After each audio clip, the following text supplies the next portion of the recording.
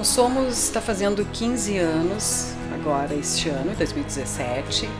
E hum, desde o início nós sempre trabalhamos com educação, com a questão cultural, porque é uma maneira de, de chegar a, a, até de uma forma lúdica, de uma forma sensível a todas as pessoas os temas que nós temos interesse em trabalhar.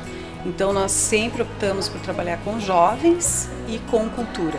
Então nós temos projetos com oficinas culturais, com oficinas de prevenção, nós misturamos as, as discussões para aproveitar então aquilo que os jovens gostam de tirar selfie ou fazer um filme, um curta, dança, expressão corporal.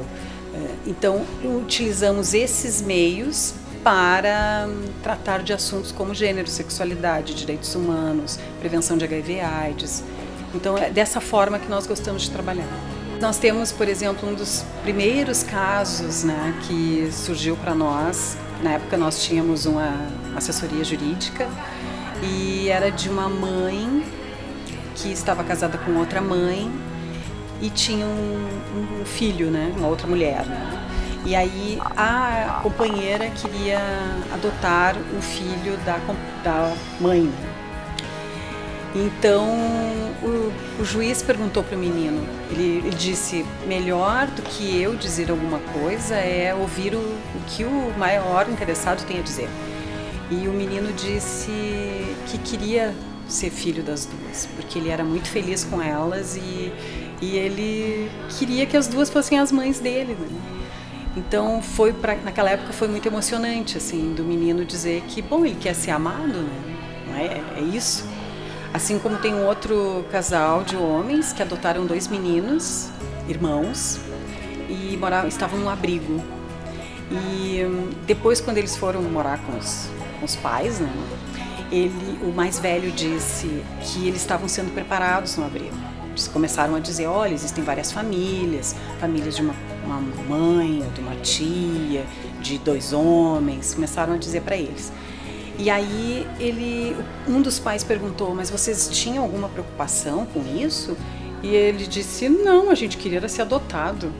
Sim, porque o mais importante era ter alguém que cuidasse deles, tivesse uma cama, né, a casinha dele, né? Tivesse alguém para poder chamar de pai, né? Ou de mãe. Né? Existem pesquisas no, Brasil, no mundo, né? Não é só no Brasil, mas existem pesquisas no mundo que fazem, estudam justamente essas eh, as doenças que são desenvolvidas por pessoas LGBT ou gays, lésbicas, eh, travestis, transexuais, que são específicas espe eh, muito em função da homofobia.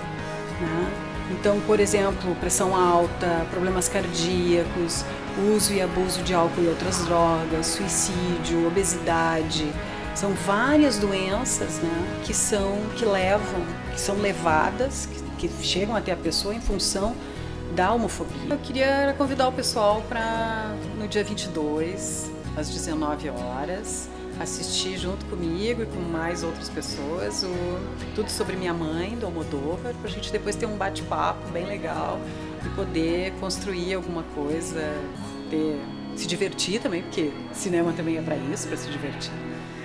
Então é isso.